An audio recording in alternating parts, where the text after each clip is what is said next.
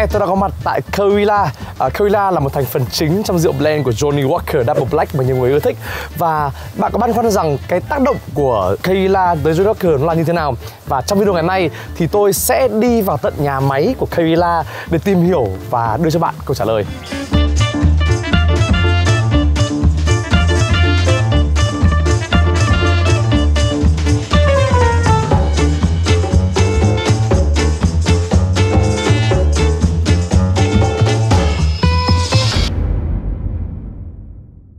Bây giờ là 5 giờ 30 sáng và chúng tôi đã thức dậy để chuẩn bị di chuyển sang địa điểm tiếp theo, đó chính là Ayla. Và bây giờ bọn tôi sẽ di chuyển sang Ayla bằng phà và phà sẽ đóng cửa check in lúc 7 giờ. Từ đây ra phà sẽ mất tầm khoảng 45 phút. 6 rưỡi sẽ có mặt. Tôi phải đặt tới ba chung một lúc để tránh trường hợp mà bị ngủ quên như lần trước. Ok, uh, bây giờ tôi đang di chuyển tới bến cảng uh, để có thể sang Port Ellen Port Ellen chính là cảng của Ireland, một trong hai cảng của Ireland có Port Ellen và Port Ascot nữa. Và bây giờ thì là 5 giờ 45 phút sáng và tại Campbelltown thì rất là lạnh Nó chỉ khoảng tầm khoảng 8 độ. Uh, Tầm khoảng ờ, uh, 37 phút nữa đến bến cảng và tôi sẽ cập nhật tiếp cho bạn xem. Chúng ta đang đến Ireland vào một ngày rất là nắng ạ mong rằng không có giọt mưa nào ngày hôm nay. Và cầu trời thánh Phật hãy cứ nắng như thế này nhé. Cây là ý là. Two hours later. Và trời mưa khá to. Chúng ta đang đến Ayla vào một ngày ờ, rất là nắng ạ. Continue straight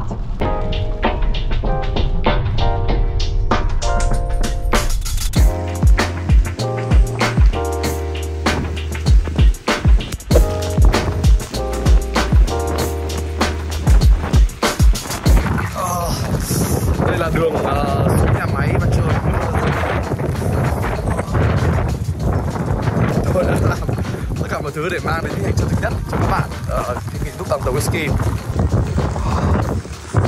quần áo tôi ướt hết rồi đây oh.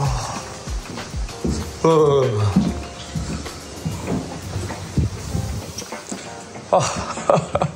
so wet.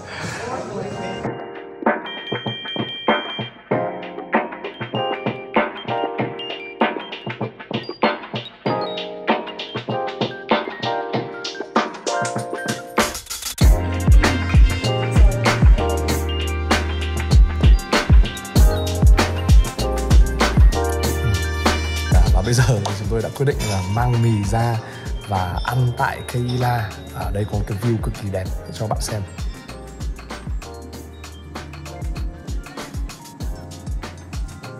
uhm. ra là mì ở Keila ăn nó cũng ngon hơn bình thường uhm.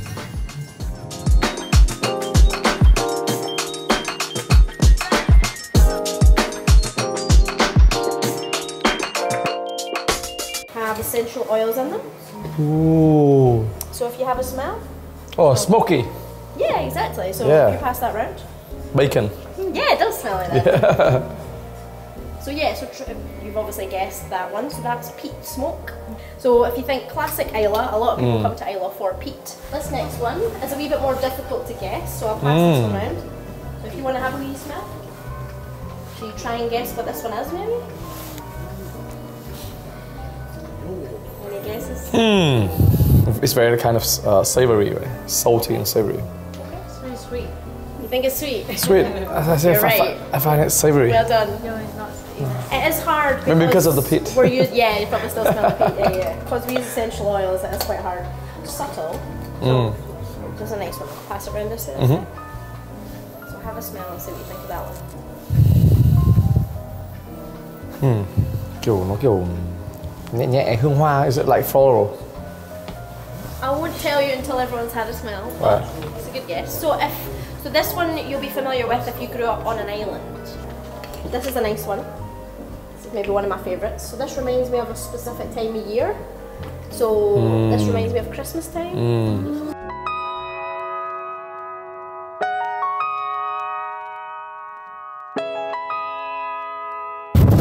Ok bây giờ chúng ta đang uh, trên đường đi tới uh, vùng chỗ sản xuất của Teila.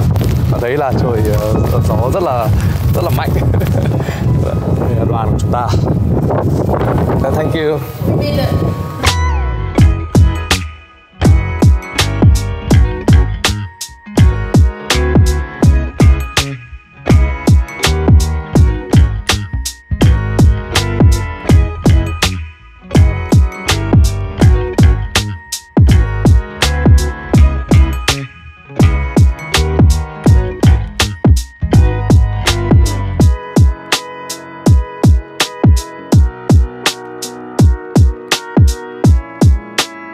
Bây chúng ta đã vào nhà kho của Keila. Và tôi nghĩ rằng đây chỉ là một phần trong tất cả các thùng rượu mà họ để ở đây. Và đây sẽ là cái bước cuối cùng trong cái tour này. Và để tôi xem hình như là họ có cho tôi uống một số loại gì đó.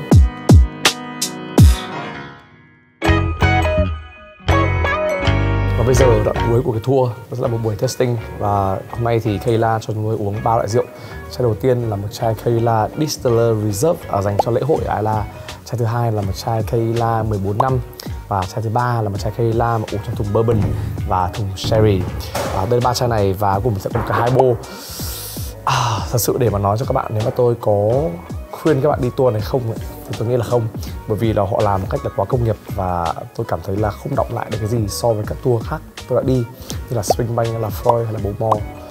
Đây thì nó khá là mờ nhạt vậy thì mong rằng các bạn học được chút gì đấy từ Kayla còn với tôi thì chắc đây là lần đầu lần cuối tôi quay lại Kayla tuy nhiên một điểm vớt phát được ấy chính là họ có một cái cảnh rất là đẹp.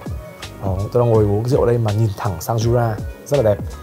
Và đây cũng sẽ là cái nhà máy cuối cùng chúng tôi đi ở Isla và sắp tới chúng ta sẽ có là Bavini, à, uh, Macallan, Glenfiddich, Stratisla và Cadu năm nhà máy nữa vẫn còn năm nhà máy nữa các bạn ạ.